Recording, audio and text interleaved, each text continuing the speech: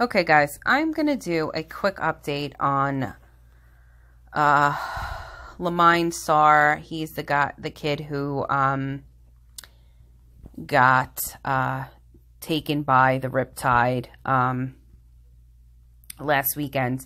Uh, this is just a quick update for you guys. Um, authorities have discovered the body of a, of a teenage boy who was reportedly pulled out to sea by a riptide while swimming at Rockaway Beach uh, last weekend. Um, NYPD said a corpse with no obvious signs of trauma was discovered at Beach 97th Street on Tuesday morning. The body was later identified as 17 year old Lamine Sarr, who was last seen on Saturday swimming with his two friends in the surf at Beach 84th Street. Okay? Um, According to his friend, all three boys uh, were not strong swimmers and never intended to go in past their waist. But after a little while, they couldn't feel their feet touching the ground. They turned around and Lamine wasn't there. The friend told uh, the police. Two, the two boys had already made it back to the shore by the time first responders arrived on the scene at 5 p.m. on Saturday, but there was no sign of Sarr. The search continued until Marine units were able to locate the body this morning. Family members and friends described Sarr as happy, intelligent, and helpful, noting his love of music and basketball. Um, it's very this this story is is very heartbreaking um, because you don't think that you don't really think that when you go swimming that you know you're not going to make it back. Uh you know you're thinking you're going with your friends you're going to have a good time whatever blah blah blah. You don't expect these things to happen. Uh Katie Sarr on Monday who said the one thing I want is to find my son. I know he's dead, but I want to see my son um, and get help to send my baby back home to Africa to Senegal, where he's from. On Monday afternoon, friends and family gathered at the Channel View School for Research in Rockaway Park to celebrate the high school senior's life. He was an amazing person and he didn't deserve this.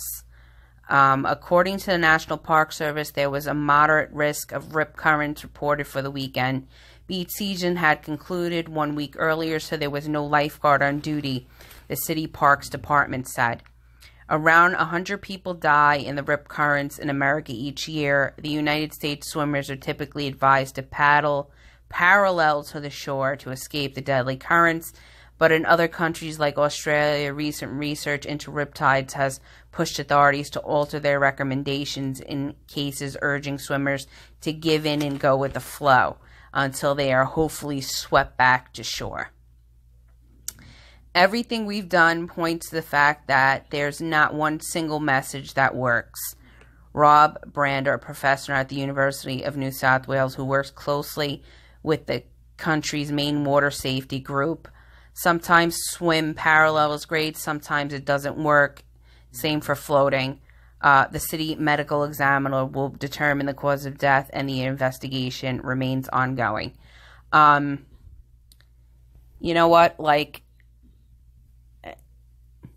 the riptides were probably very bad just due to the hurricane um, hurricane florence and the fact that you know the ocean was not at its calmest uh, point um, that day or that last weekend in general.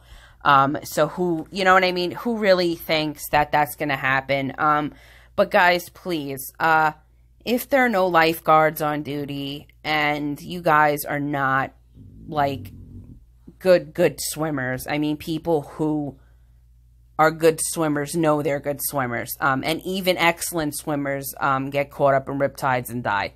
So that's not even a guarantee. Just be careful. Try to avoid going in the water when there's no lifeguards. Try to avoid the water in general um, just for your own safety. Um, nothing's worth this, you know, and now his family has to bury him and get him back to his home in Africa. And you know what? It, it was so unnecessary. Um, and like I said, if you want to sit on the beach, you want to hang out on the beach, you want to put your feet in the water, sit down and put your feet in the water. Let the tide come up on you. You know, you could still enjoy the water without actually getting in.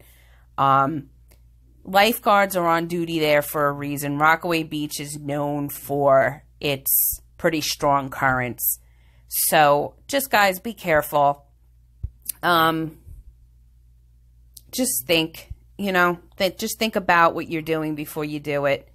And, uh, you know, I, I, I, my prayers to his family and, you know, um, just strength to his mother. Uh, and God bless. I will keep up with this story um, when the medical examiner releases its report. Um, if they do make it public, I will definitely update the story and let you know uh, what the findings were beside drowning. Um, and that's it for me, guys. Okay, guys, I'm going to do a quick update on